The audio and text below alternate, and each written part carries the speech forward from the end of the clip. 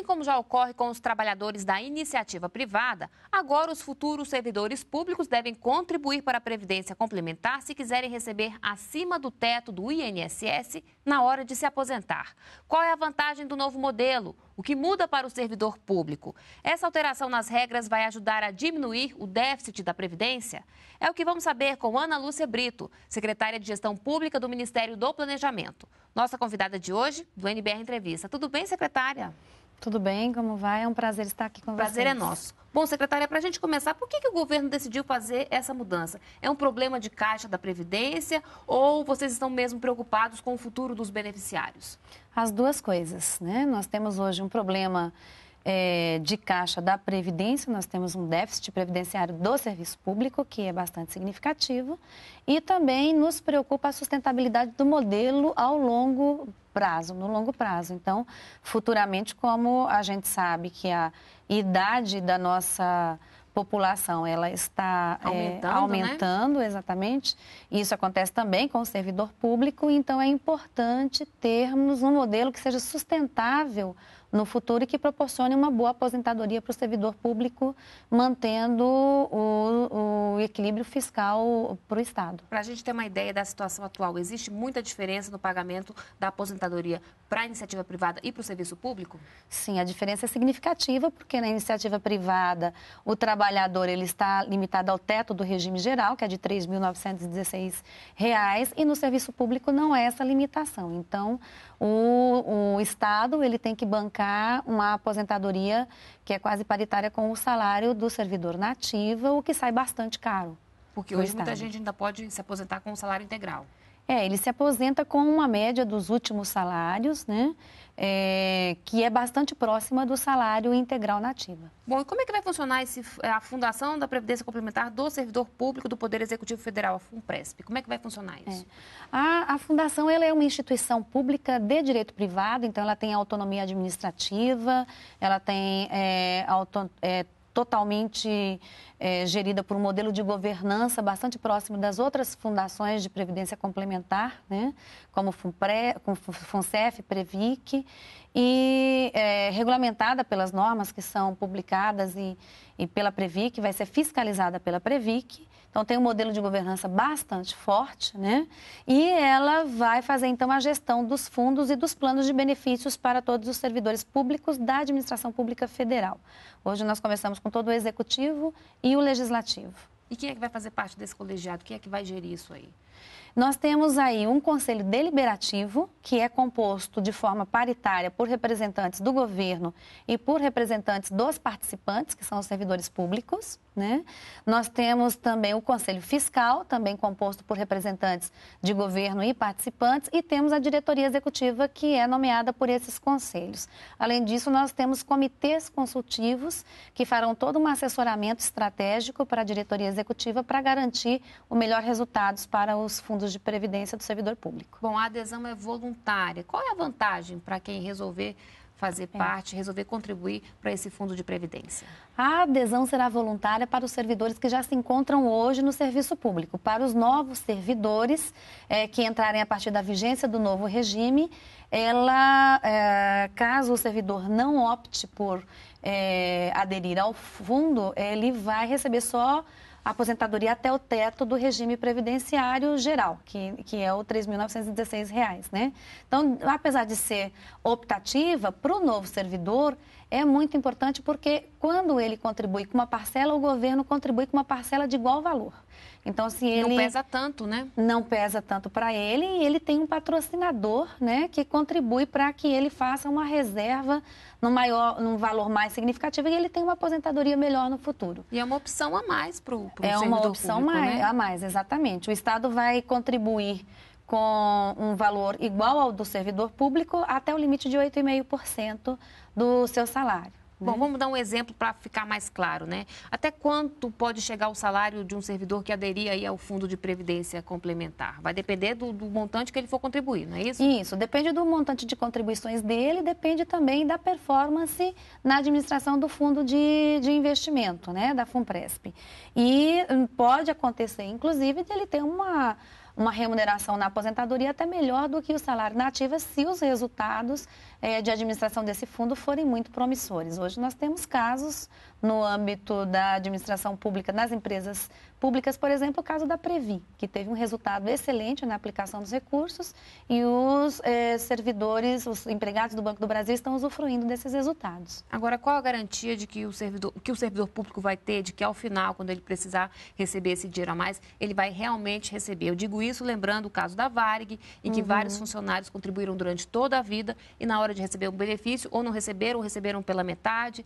Enfim, na hora que precisaram do serviço, eles não tiveram. Que garantia o servidor público vai ter de que é um sistema seguro, de que ele vai ter isso, é, esse retorno no final quando ele precisar?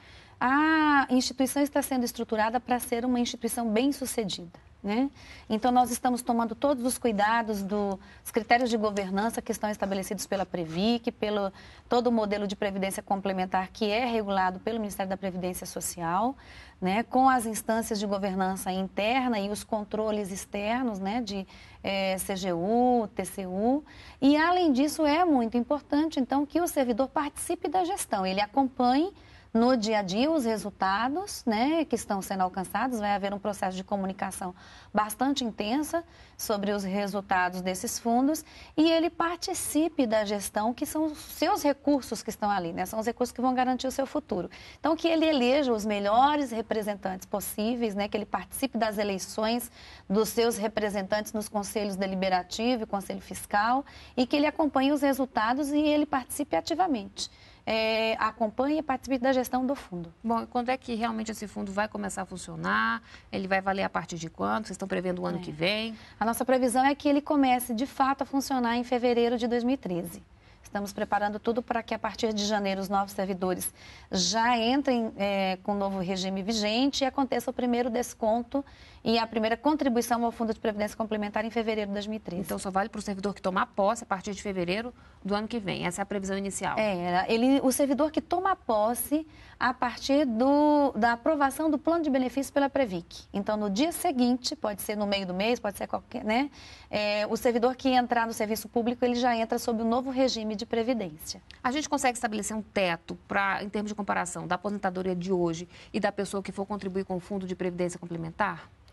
Dá para ter essa ideia, essa noção? Dá para ter essa ideia. Eu não tenho aqui um cálculo pronto, mas nós estamos preparando para que os servidores possam fazer simulações. Futuramente, a FUNPRESP ela vai ter um sistema que, que vai propiciar simulações, o servidor vai poder fazer os seus cálculos e o seu acompanhamento, inclusive, né?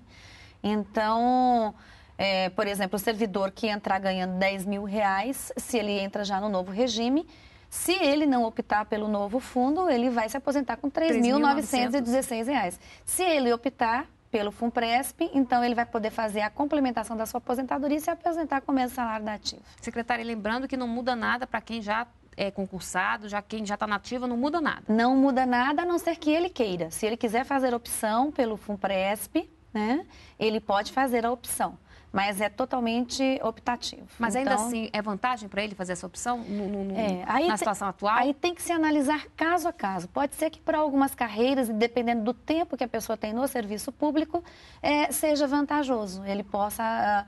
É, apostar nesse novo modelo, né?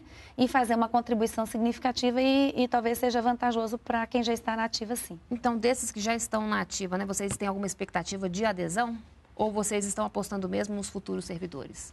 É, nós vamos trabalhar principalmente em dois momentos. Prioritariamente os novos servidores, porque estamos estruturando todo o processo, sistemas de informações, processo de comunicação. E, num segundo momento, também vamos trabalhar para que os servidores que estão na ativa possam, de forma consciente, fazer as suas contas, fazer a análise da sua situação e aí, de forma consciente, se ele quiser optar, ele possa optar. Essa questão da previdência privada, da previdência complementar, é uma tendência para o futuro? Com certeza, ele é uma tendência, já existe em vários países, né? E é uma tendência, inclusive, para quem não é servidor público, para quem entrar na iniciativa privada e para quem quer planejar o seu futuro, né? E cada vez mais, desde cedo, as pessoas, os jovens já começam a entender que para ter depois uma aposentadoria tranquila, é importante a gente começar a poupar desde cedo, né? Então, é importante que o jovem, ao entrar no mercado de trabalho, seja na iniciativa privada ou seja no serviço público, ele já pense Procure. no futuro. Com certeza. Né? Administrar agora, contribuir é. aos pouquinhos, né? Isso. E ainda mais com o envelhecimento da população, né? A tendência de uma, de uma vida mais longa para que se tenha uma vida de qualidade é, no futuro é cada vez melhor a gente começar a pensar nisso cedo, né? Começar a poupar, a fazer suas reservas, a pensar no investimento dos seus recursos que possam garantir um futuro tranquilo. E, e você acredita que hoje as pessoas estão com essa consciência? Porque no passado não era assim. Nós no Brasil não tínhamos essa cultura da previdência, né? Ela ainda está é, se iniciando. Eu creio que temos um grande mercado aqui é, para essa é, conscientização e essa grande adesão da população, né? É lógico que também faz parte a, as condições sociais, né? O maior, o melhor e maior poder aquisitivo da população vai propiciando isso também, que as pessoas conseguem, a partir de um determinado nível de renda, separar um pouquinho para poupar pensando no futuro. Então, eu creio que cada vez mais o brasileiro vai, vai investir nessa poupança e na previdência complementar. Diante disso, vocês também vão investir nessa questão da informação? Com certeza. A informação é uma grande é, preocupação e é importantíssimo para que tanto o servidor público quanto a sociedade entendam o que, qual é a proposta que o governo está colocando é, e que vai beneficiar tanto o servidor público, porque ele garante um modelo que é sustentável no futuro, e também beneficia a sociedade, porque proporciona o equilíbrio das contas públicas, né? E traz uma equiparação de, de tratamento entre o trabalhador que está no mercado privado e o trabalhador que está no, no serviço público. Ok, secretária, muito obrigada pela entrevista e até uma próxima. Foi um prazer. Igualmente.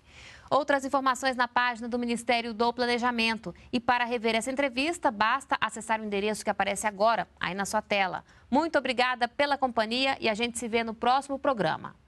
Continue aqui na NBR, a TV do Governo Federal.